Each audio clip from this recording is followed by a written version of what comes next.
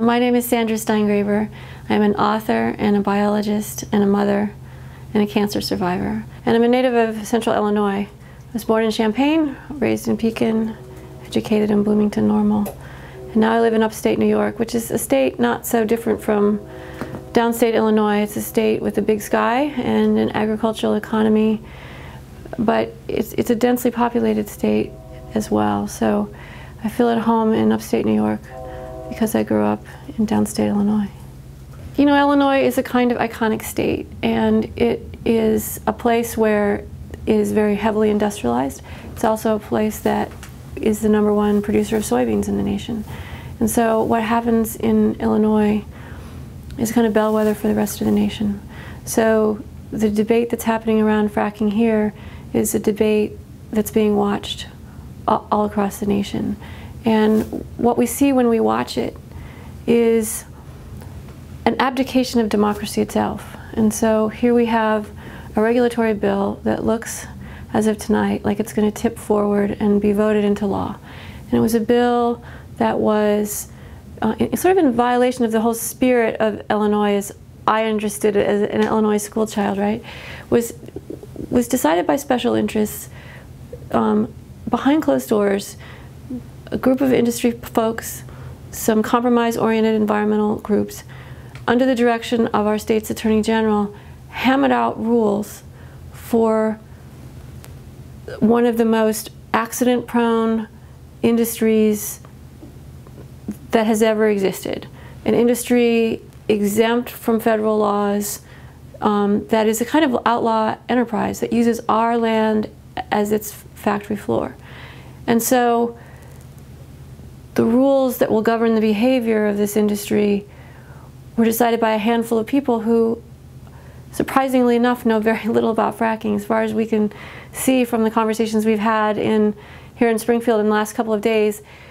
Those who will be deciding whether these rules make sense have never actually spent any time out in the fracking fields of America, have never actually visited a drilling and fracking operation. And so the question becomes, if these laws are going to stand, if the people of Illinois are going to allow their communities to become a colony for the oil and gas industry whose behavior will be dictated by rules that were made up by them and a handful of people who don't actually know a lot about fracking in the absence of any public hearings in the absence of any citizen comments, in the absence of science. No scientists weighed in on these rules, no physicians, the public health community has not done that.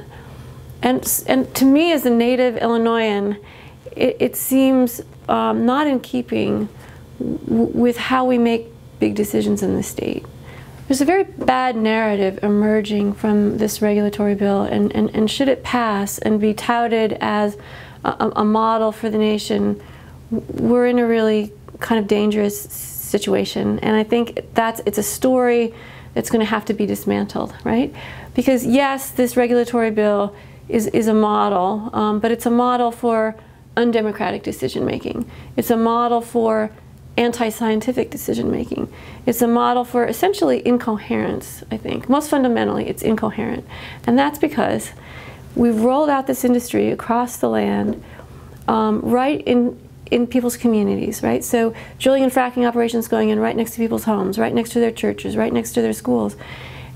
And we don't, we haven't even identified yet as scientists what the exposures are to people.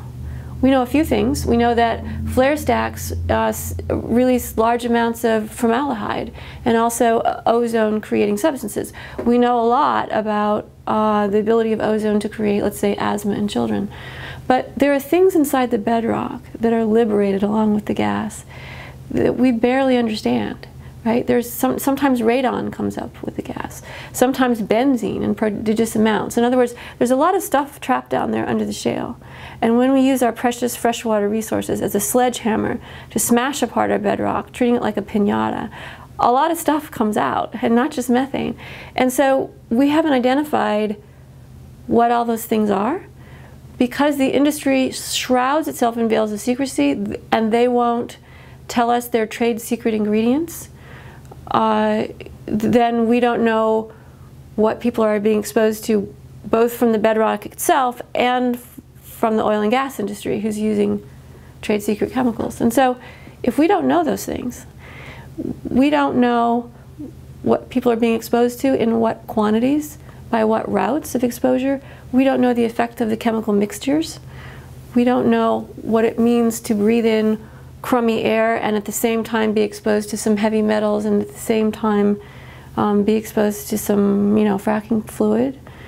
And because we don't know these things, if we promulgate regulations in the absence of knowledge, what exactly are we regulating?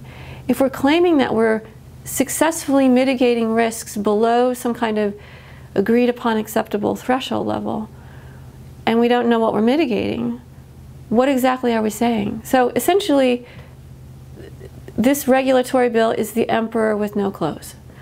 And, and, and that's what we have to say, right? Um, it, it, you can't say that these regulations are sufficient because you haven't even identified what all the risks are. So that's the first thing. The second thing is no scientists have weighed in on this, no doctors, nurses, public health officials. And so who are the experts who understand public health, who understand how a baby's brain gets wired together and understands how a molecule of lead or mercury can sabotage brain development? Where were those people? What voice did they have? You know, where are the people who understand how an embryo implants in the endometrial lining of a woman during the second week of pregnancy? Um, and when the chemical signals that make that implantation possible are interfered with, you end up with miscarriage.